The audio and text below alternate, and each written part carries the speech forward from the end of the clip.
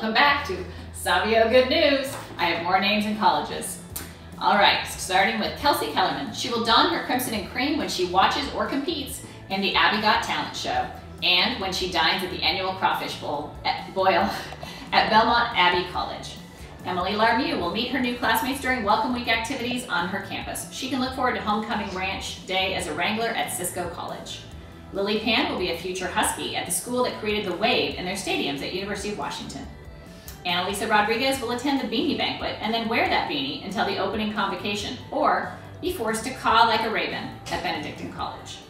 Abigail Stable can hope for a chance to ride on the Sooner Schooner while singing the chant, or maybe she'll dress up the seed sower for one of the holidays at the University of Oklahoma.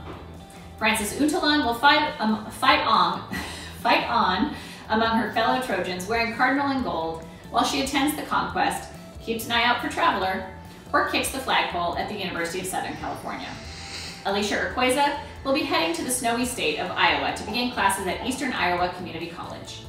Luke Wagner will likely be involved in the hacking prank famous on this university campus, helping to design his graduating year's brass rat, also known as the brass, as the class ring, and earn a pirate certificate at MIT.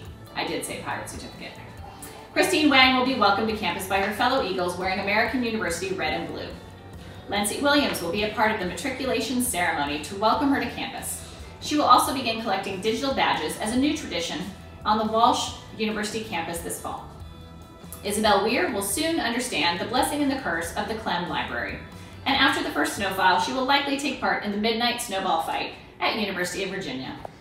Nanny Zapata will walk through the famous red hilltop doors and receive her medallion, making it official that she will attend St. Edward's. Shauna Zhu will be honored, will be honing her artistic skills at the school with the orange dot, the Art Center College of Design. Thanks for coming back to Savio Good News.